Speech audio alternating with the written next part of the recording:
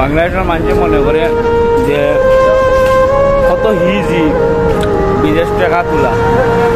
দেখো পাকিস্তানি বাইজা বকল এর বাদে আমার মগরিস রুমেন তারা কিলা লাইনও খাড়া টেকা উঠাইবার লাগে এটিএম বোর্ড এক মাস কাজ করা পরে যখন স্যালারি মিলে যখন আমরা স্যালারিটা উঠাই।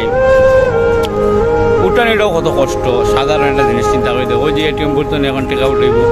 এই সাইডে এক কিলোমিটার আমাদের আর কোনো এটিএম বোর্ড নাই। ইনো আট টাকা উঠানি সম্ভব নাই ইনো সিরিয়ালও খাড়া না হইলে।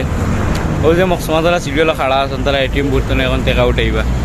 তো একটা জিনিস পাবিয়া নিবা বিদেশ টেকা রুজি করা এত সোজা নাই। বিদেশ টেকা রুজি করা অনেক কষ্ট। যখন একটা মাস, সারা মাস কাজ করা বাদেও যখন স্যালারিটা কাটলো দল কাটতো না যখন আমরা স্যালারিটা উঠাই উঠানিটাও কতক্ষণ কষ্ট, এবলা চিন্তা করে দেবো এই যে, আপনি ভিআইপি জায়গা ছাড়া আপনি যে কোনো জায়গায় যাও কা এটিএম বুটো আপনি টেকা উঠাইতে গেলে লাইন ধরতে বা আধা ঘণ্টা।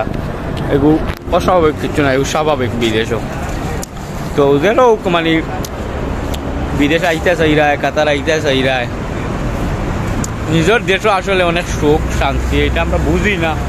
সাত আট লাখ টাকা খরচ করি আও বিদেশ, কিন্তু এখন দেখো, বিদেশ টাকা উঠাইতে গেলেও এত লাইন যদি থাকে, তাইলে কো চাইন টাকাটা রুজু করতে কতটুকু কষ্ট। আর সকলকে একটা রিকোয়েস্ট আমার পেজটা একটু ফলো করবা। আর বাংলাদেশি সুপারি বন্দি করে দিছিল, তার রুমা আসলাম, খুব ভালো লাগে। সপ্তাহ বাদে গিয়া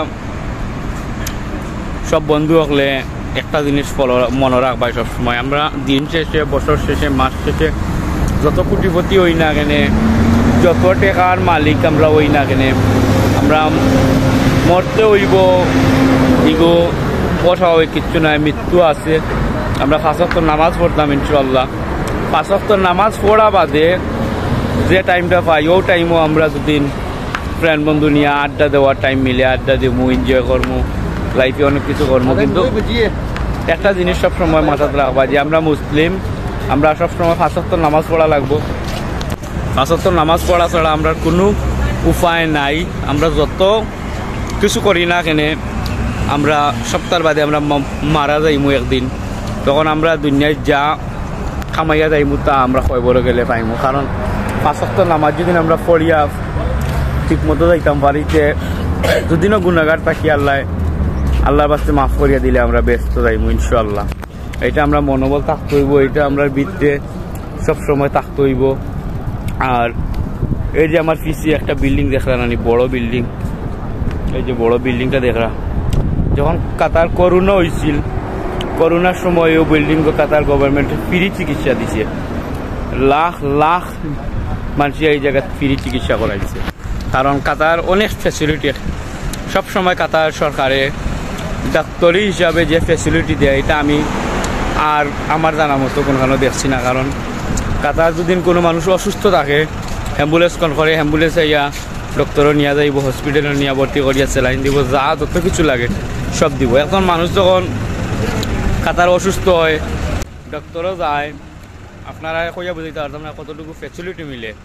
আপনার সম্পূর্ণ খরচ ফ্রি ডক্টরও যা খরচ যাইব অপারেশন ধরিয়ে সম্পূর্ণ ফ্রি আসলে অনেক ফেসিলিটি কাতার গভর্নমেন্টে দেয়। আর এখন তো ওয়ার্ল্ড কাপ খেলার সময়। আরও সব দিকে ফেসিলিটি দিছে। যার ডিউটি আট ঘণ্টা থাক ছয় ঘণ্টা ডিউটি আসলে কাতার অনেক সুন্দর একটা দেশ।